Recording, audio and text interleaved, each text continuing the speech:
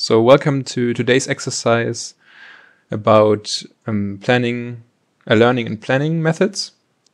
So last time we were talking about n-step methods and and there we had this parameter n, which meant how many steps we we actually want to sample from the environment in order to do a single learning step. This time around, we once again have a parameter n, but it actually has a different meaning. So for n-step methods, it was this how many actual experiences from the environment we put together to form a bootstrapping estimate. This time around, it's how many planning steps or how, how much, um, how often we do learning from planning in contrast to learning from actual experience. So learning from planning essentially means that we learn from some kind of model of our environment and, instead of learning from experience that we directly sampled at the point, at the point in time where we actually learn. Um, in this exercise, we will once more be looking at the inverted pendulum, which we already got to know in the last exercise.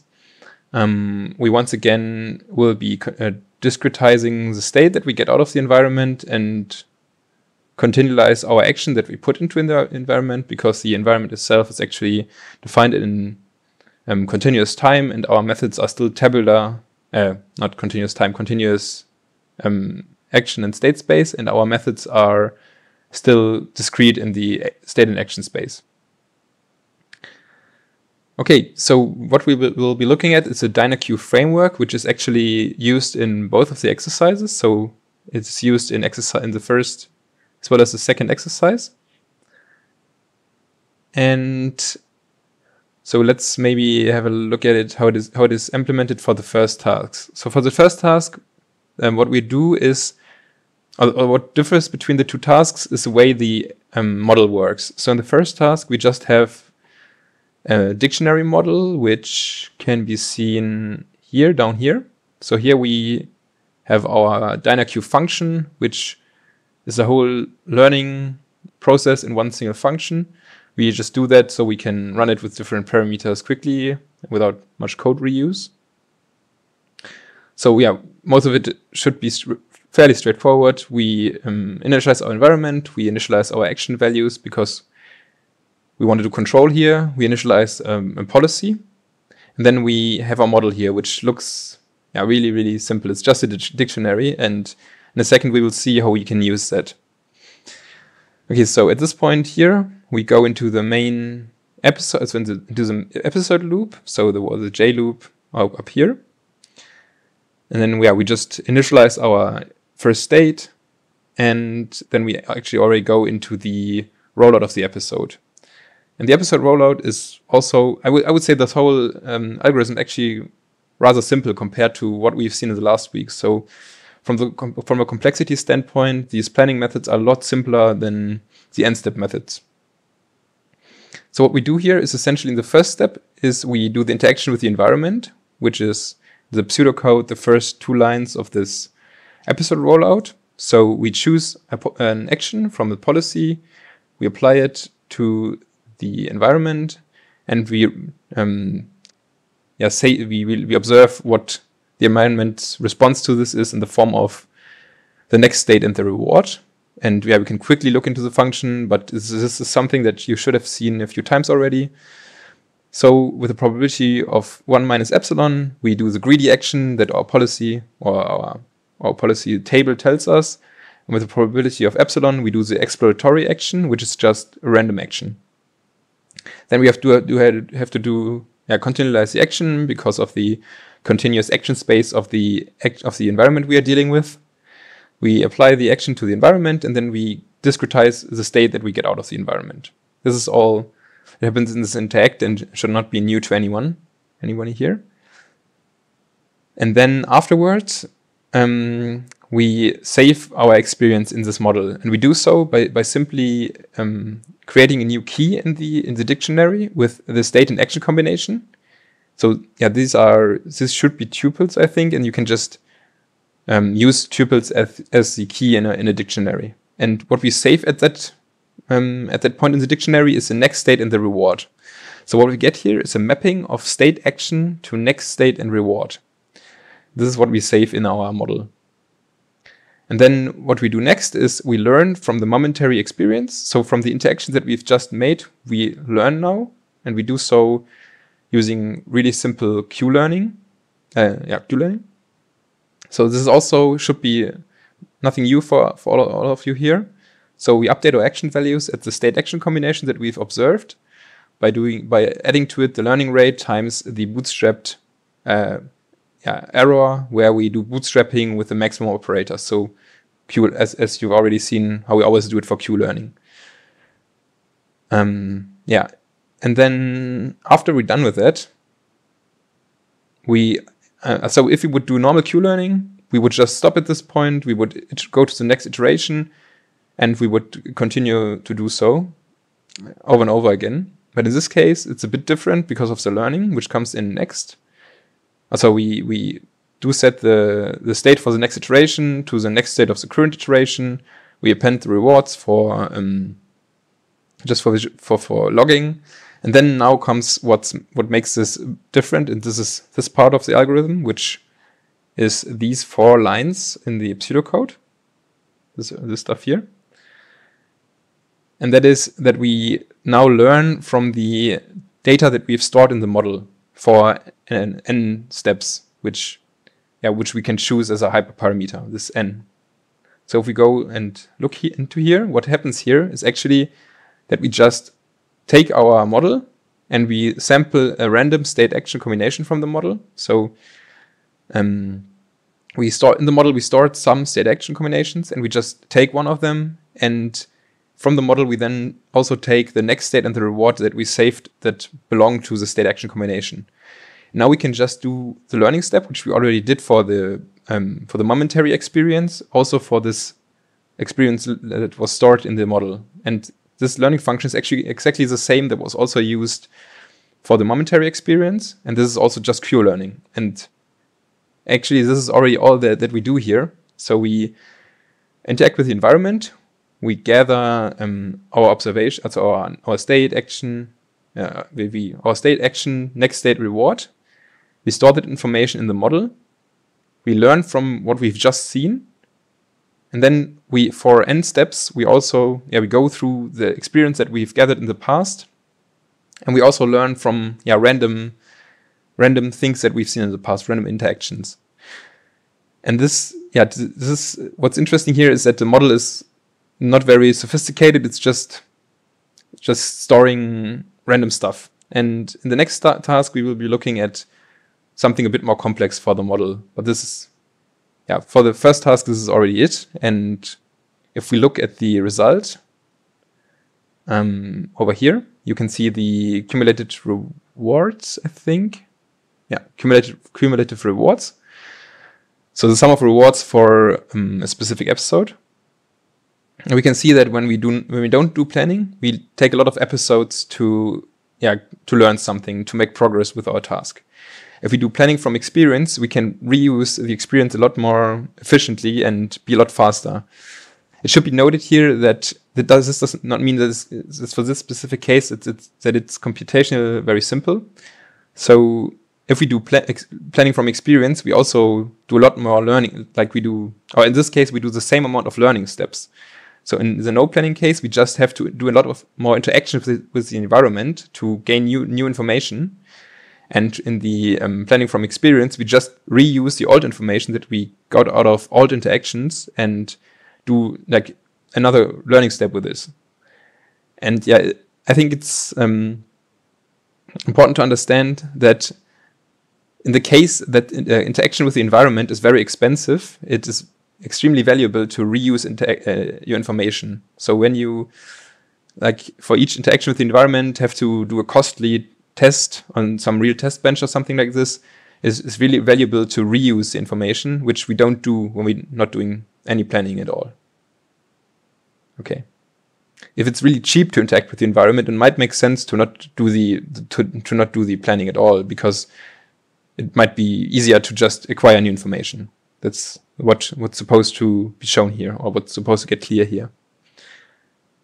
Okay, now in the second task, we will be looking at a little bit of a different model. So the algorithm is still essentially the same. The main difference is how we store or like how we um, create our model and how we use uh, like how we get information or experience out of the model.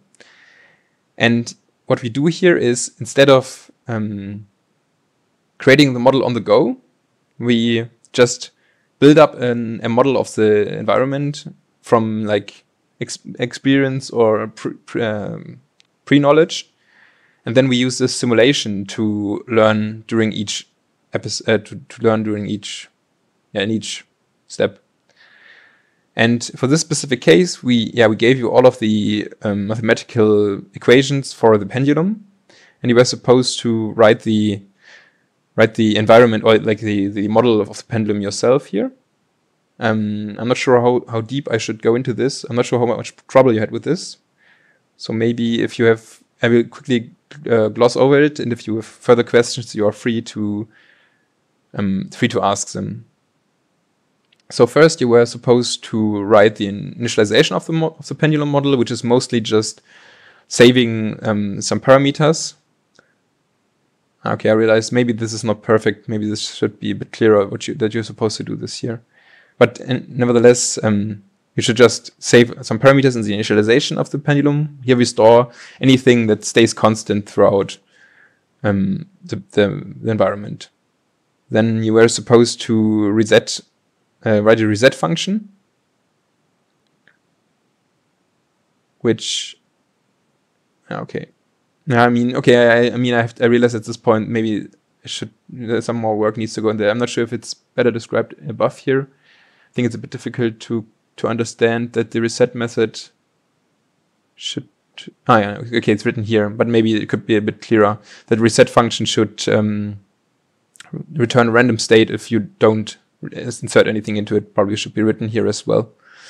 So anyway, the reset function either um, sets it to a specific state if, if a specific state is given to the environment, or it gets out a random state. This random random um, state is kind of important, and because it's the, the mechanic which we use for getting like getting information out of the environment later on. But we will out of the model later on. We will get to that in a second. Then there's also the step function, which takes in the action, or in this case, the, the torque, and computes um, what the and um, what the change in the states would be if you apply that input, and then it returns the state and the reward. And then we have some normalization here, which is done so that the angle stays. So this is just a helper function which ensures that the angle stays between um, 0 and 2 pi, I think, or is it minus pi and pi? Um, no, it should be minus pi and pi. Okay, yeah. Um, what we are doing here in the step function is we clip the action to like the maximum possible action. So if it's something that's bigger than the maximum possible action is given in, will be clipped to the maximum value. We compute a reward, which is consists of the normalized angle squared and some also some something connect to I mean I'm not sure if the reward is I know the reward is used yeah um, and then a factor times the angular velocity and also um, a factor related to the torque applied okay and then here we have maybe that's interesting for you as well here we actually do the that we solve the differential equations that are behind the dynamics of the um, of the system or of the environment. So this here is an, an, an, Euler step, which is used to estimate how um, the pendulum will act in the future. So it should be noted at this point that this is like the actual correct way that the pendulum works, which yeah we will probably talk about a little bit at the end of this task. So this this pen, this model actually implements like the correct workings of the pendulum, at least approximatively. Like this um, this Euler steps here is, is, an approximation, but it's more or less it's, it's very close to how it actually works. Okay. So then let's have a look at the actual at the rest. Ah, okay, this cell is just for yeah, testing your pendulum model. And then let's have a look so how close your pendulum model is to the actual environment. So then let's have a look at the at the implementation of of the DynaQ for the pendulum model. So here we have the model that's actually uh, the, the function that's called for this, and it's mostly the same. So up here we initialize our environment, we initialize our model, we set our action values, pi, and something to log the cumulative reward. And then we run through the episodes and we it's essentially yeah, very similar to what we've done before. We set our initial state and then we run we roll out the episode. We interact with the environment to gather experience. We learn from that experience. And then we do our learning from the model. Maybe what's interesting here is uh, the model is predefined and we do not tune it here anymore. There's there's essentially lots of other ways that you could do this model. This is just very specific to this case. So because we um, wrote out our model before and um, yeah, we don't we don't want to change it anymore. There's tons of other ways you could do that, to do other models. You could do models that learn while you're rolling out the episode and so on and so on. Maybe to make that clear. Any in any way, the other than that, it's more or less so this part is otherwise the same. We do Q learning with the momentary experience, but we do not need to save the um, the experience that we've gathered. And then for n steps, we once more go into um, the learning from the model, and we do so by um, resetting the model to a random state. And then we choose a random action. And at this point, it should also be noted we could this could also be could theoretically be done different. There's arguments for and against it. We could also do um, a soft like like use our policy here to choose an action. In this case, we we decided to do a random action, which is a bit more yeah a bit more explorative. And then we use that action and apply it to our model. We do a step with our model. And then we learn from the experience that we've gathered from this model. And naturally, in our case here, we yeah we wrote the perfect model of our environment, which means that the experience that we get here is valuable and good. And maybe we can have a look after like this is all there is to this algorithm at this point. It's very very similar to the first task, with the main difference being this model, the the, the change in model. And if we have a look down here, we can see the difference in the learning curve between the two. So you can see in blue the planning from experience, i.e., what we talked about in the first task, that you store your experience in in a dictionary and just revi- uh, like revisit it all the time.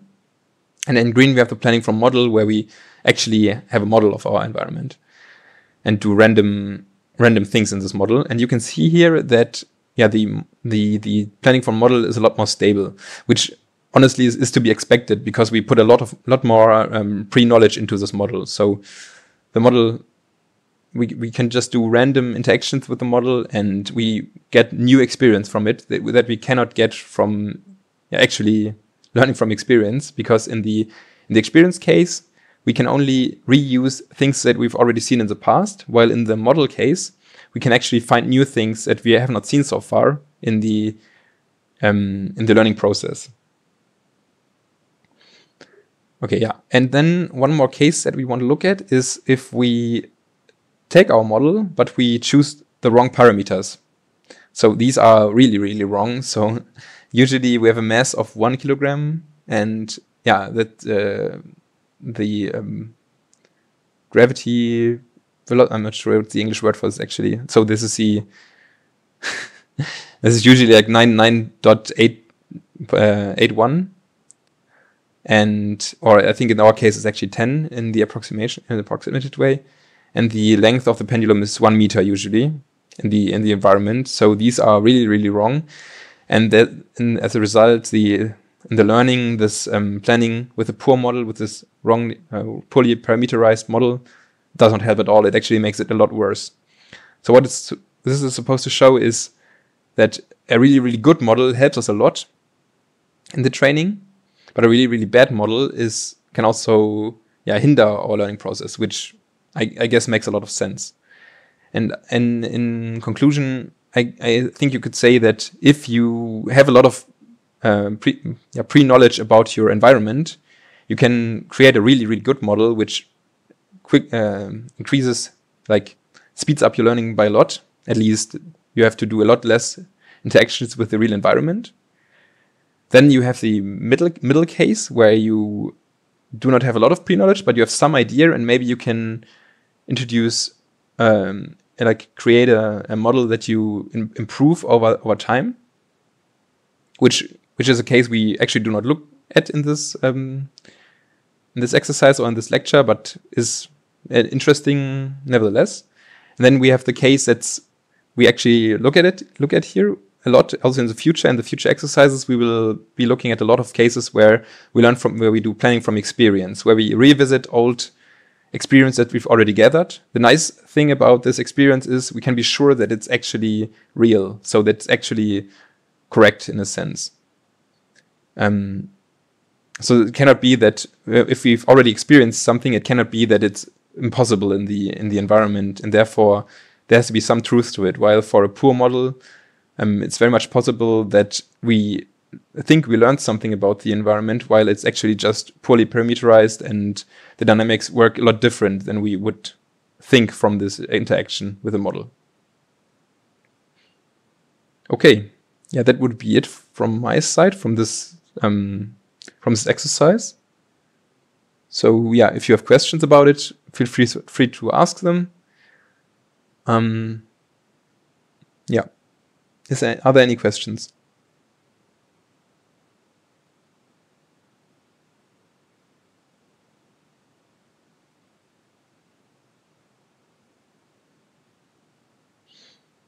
I guess the overall structure is is not that complicated, so it would not surprise me if you don't have any questions. Generally, um, the process is just Q-learning and then save your experience, and then you Q-learning again with the with the with the saved data. So, and for the pendulum, um, for the pendulum model, it's also quite similar that you just get like like get your experience from this model that you learn from afterwards, other than the actual interactions. Okay, then if there are no questions, I guess we're already done. And I will see you see you then.